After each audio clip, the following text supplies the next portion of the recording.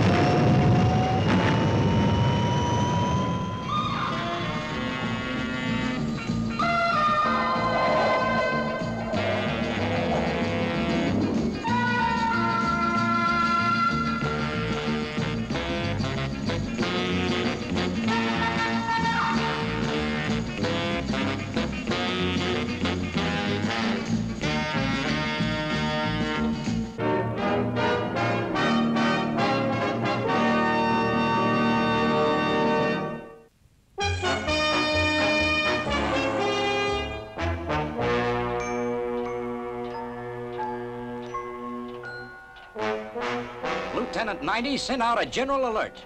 This is an emergency. Yes, sir. World Space Patrol Headquarters, Space City, calling all Earth tracking stations. Emergency. Priority one, stand by. Repeat, stand by. Canaveral, roger. Woomera rocket range standing by. Okay, now I'm standing by. Jodrell Banks What do you make by. of it, sir? As I feared, Lieutenant 90, a missile, And according to the computer, it's carrying a planetomic bomb. which is powerful enough to destroy the whole Earth.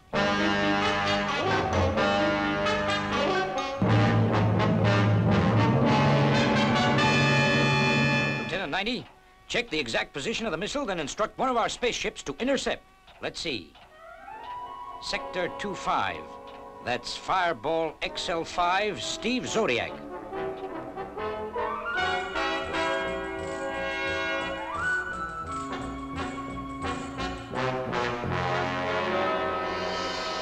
Robert, we're on our way home at last. On our way home, on our way home, on our way home. Gee, I keep forgetting you're only a robot. Say, Venus, how's our beautiful doctor of space medicine? I gather by the compliments, Steve, you want something to eat. I'm preparing a meal right now. I just adore your French cooking. What's on the menu today? Blue pills, pink pills, or those delicious capsules that you make up? Boy, will I be glad to get back to Earth to have a steak. Calling Navigation Bay. Say, Professor Matic, how are we doing? Are we on schedule? Eh, well, Steve, we are approaching position uh, 15-0 blue, and I'm registering minus 14G from the moon. 14G from the moon? That can only mean one thing. Well, what's that, Professor? it's time to eat. Say, you gave me a scare. I thought it was something important. Space City to Fireball. Planetomic missile approaching Earth. Position 24-0 red. Intercept. Repeat. Intercept. Go, XL5.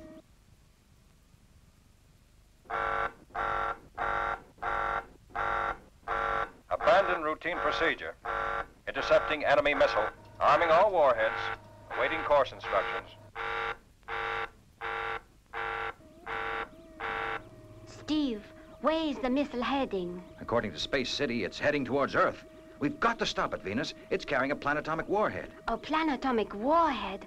Why, Steve, that's a million times more powerful than a hydrogen bomb. That's right. Our only chance is to explode it in space as far away from Earth as possible. Is the professor tracking the missile? Yep. He's getting me a position right now. Okay, Steve, I'll go straight away to help him. Okay, Venus. Good shooting. Steve, steer 184 zero blue. Roger. All warheads go. Fire starboard thrusters. Roger.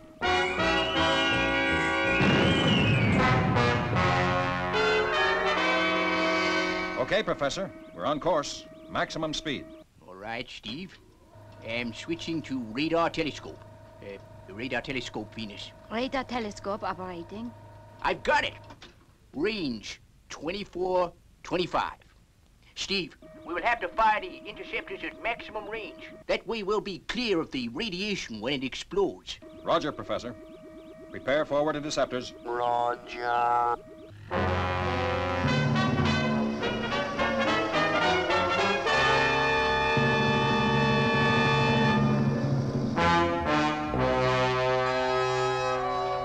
Fireball XL5 is dead on target.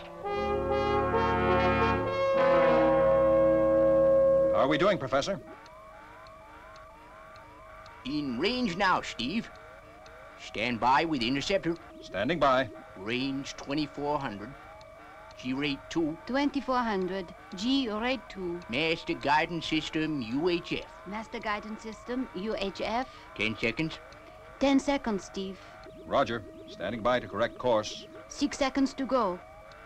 Five, four, three, two, one, zero, and go.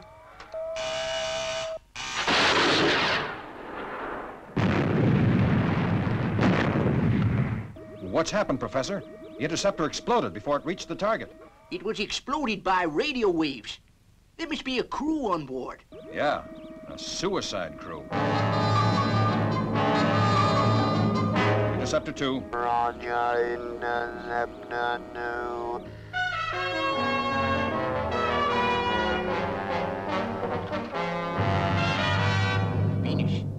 Switch on jamming beam. Will do, Professor. 10 seconds.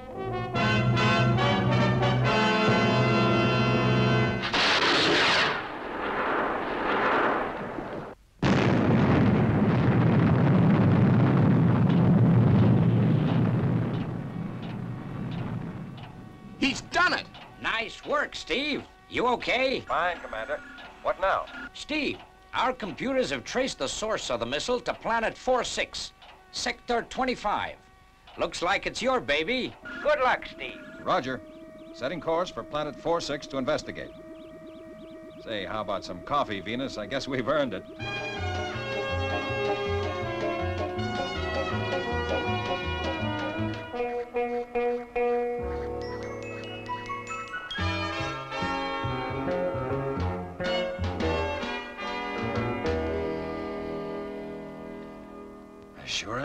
I've got Robert as a co-pilot. How long, Steve, before we arrive at planet 4-6? Oh, quite a few days yet, Venus. I, uh, I suggest we rest all we can. We don't know what's in store for us when we arrive. Say, how about that coffee? Oh, gee, I'm sorry. I'm a tootie. I almost forgot.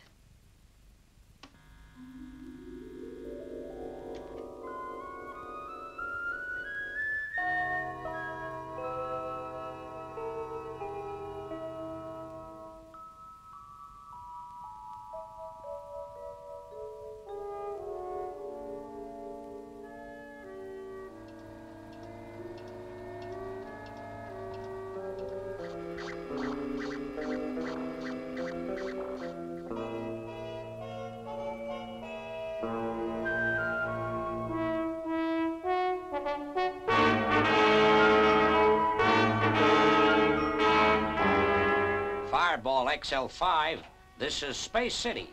According to our calculations, you are now approaching planet 4-6. Space City, Roger. Just going into orbit. We'll call you when we've carried out reconnaissance.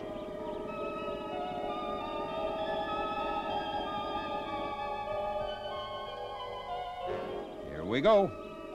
Fire main retros. Okay, Steve. Firing retros. Right, Steve. We're in orbit. Robert is in the rear control center. You are clear to go. Okay, Professor. Venus and I will take a quick look around. If we need any help, we'll call you. I'll be standing by, Steve. Uh, uh take care of Venus. we don't want to lose our doctor of space medicine. Sure thing, Professor. Safety belt fastened. Safety belt fastened. Here we go.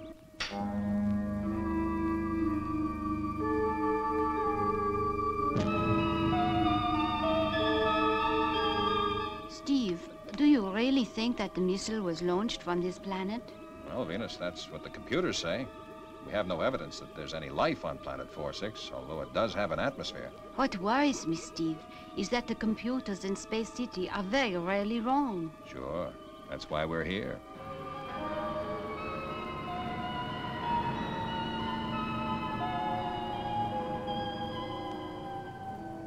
Let's unfasten our safety belts and go out and investigate on our jetmobiles. Good. They've landed safely.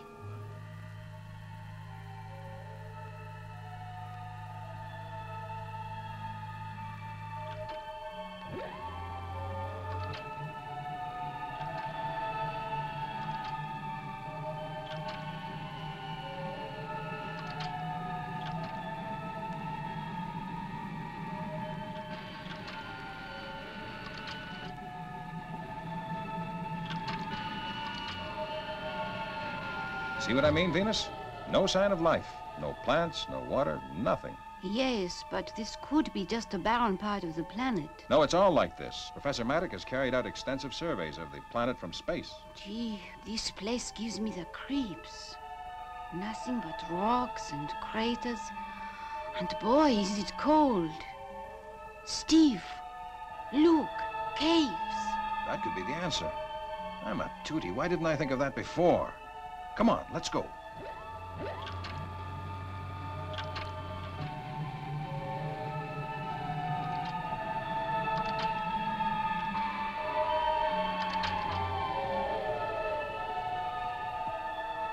Look, Steve.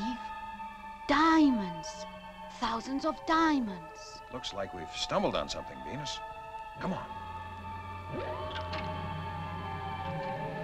Venus, stop. Venus, on the other side, look. A door. This can only mean one thing, life. I'm going across, Venus. You stay here. If anything happens, get back to the ship right away and get help, fast. But Steve. Steve.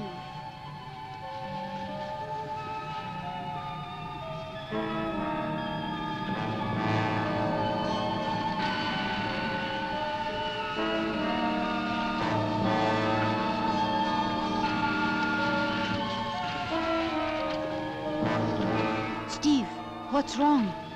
The forward thrust motors have failed. Must be the heat. My speed has dropped, but I can still make it as long as the hover jets don't stop.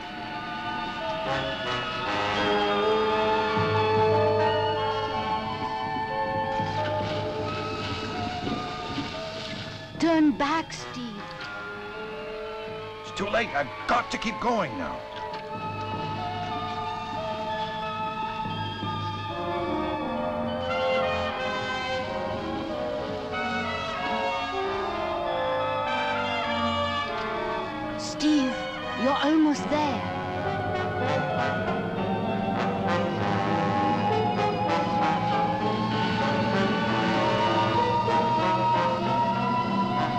I made it.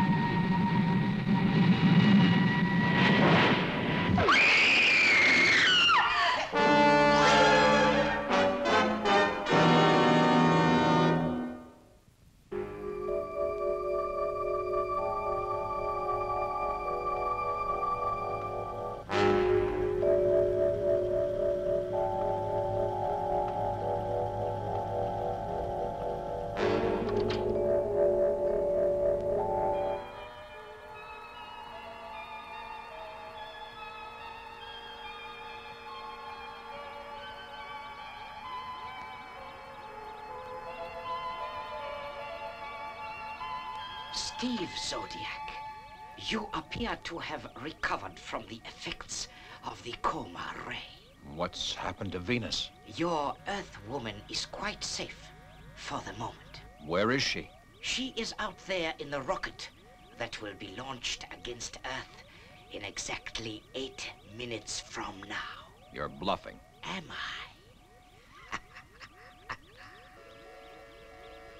I? Commence launching procedure. Okay. What do you want me to do? Very simple.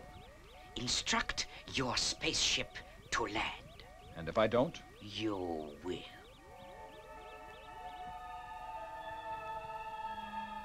Fireball XL5. This is Steve Zodiac. Have discovered launching bay and have occupants held as prisoners. Bring her down, Professor. I can't carry them all in Fireball Junior. That's boss, Steve. We're on our way. Uh, Robert, landing procedure. Position code 22 zero red. Landing procedure underway. Excellent, Steve Zodiac. Now instruct him to land at position code 22 zero blue.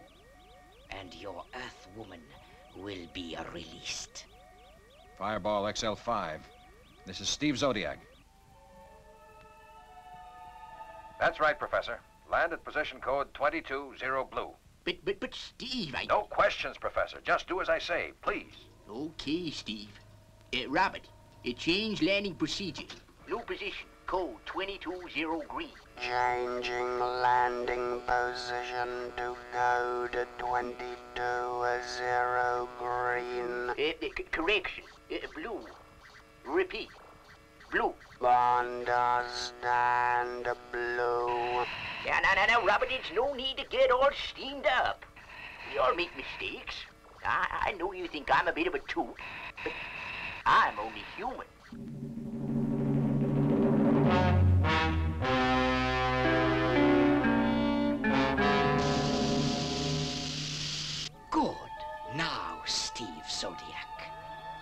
Observe.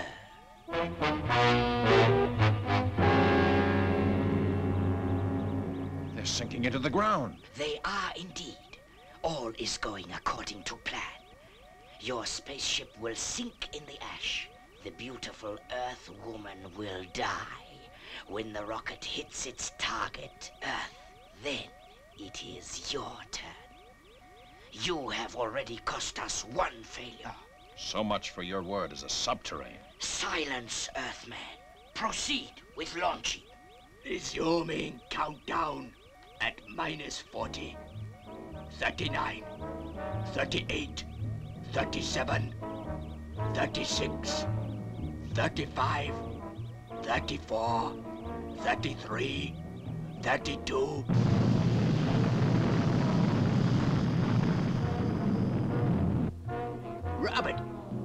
Restart the motors. Robert, what's the matter? Are you there?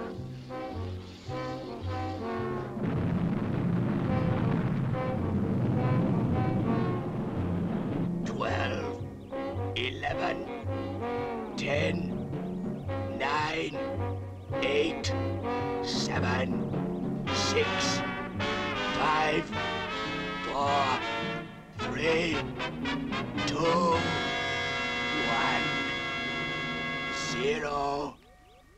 Ignite.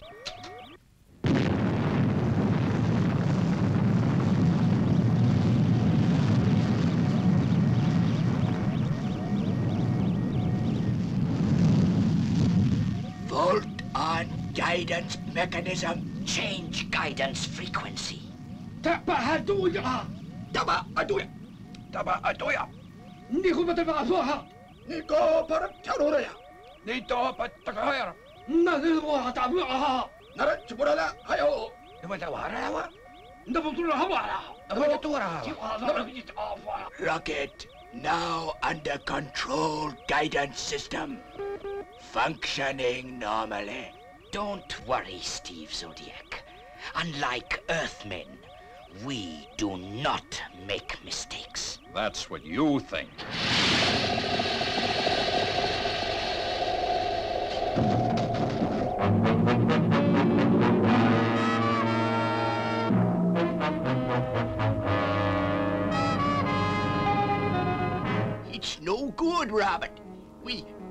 Can't get her out of this without Fireball Jr. What's happened to Steve?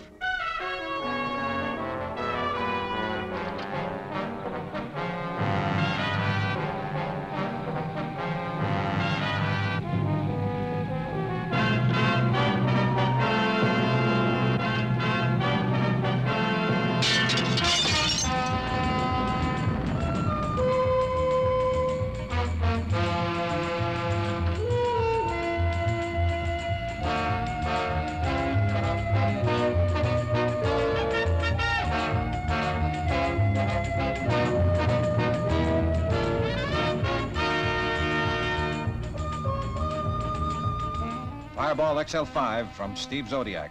I'll be with you in a moment, Professor. Once we get the nose cone attached, We'll be able to pull Fireball out of the ash. Hurry, Steve! We're almost completely submerged.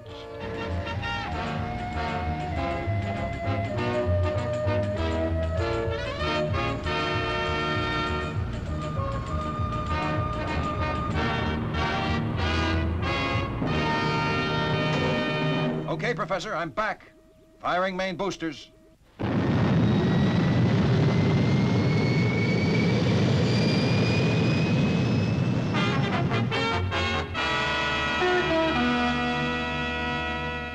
right. Instruct your Subterrain to abandon the missile with Venus. If you don't, we'll be forced to destroy your planet. Now, transmit. This is your subterranean chief speaking. Abandon missile with Earth Woman. Repeat. Abandon missile with Earth Woman. I have passed on your message, but to no avail. The Earth Woman will die anyway. They have no space equipment on board. Here, take this. It's an oxygen pill. It'll enable you to live in space. Okay, Professor, I've taken my oxygen pills. I'm going to bring Venus and the Subterrain on board. Uh, uh, take it easy, Steve. Okay, Steve. Uh, they've ejected. Roger, Professor.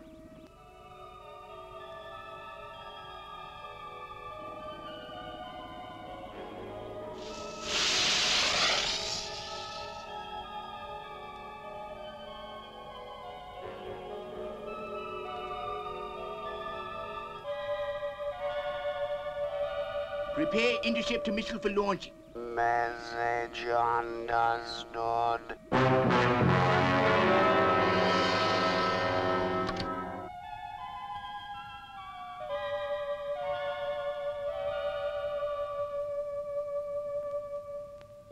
Ignition and go.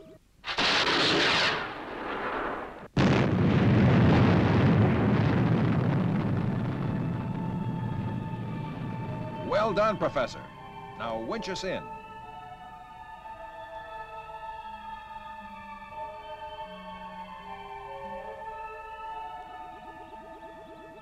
Well, Venus, there's Earth. Sure looks better from here than inside that subterranean rocket. Thanks to you, Steve. I guess I know now why they call you the greatest astronaut on Space Patrol. I think you're cute, too. Space Patrol, this is Fireball XL5 returning to base. Mission complete. Over and out.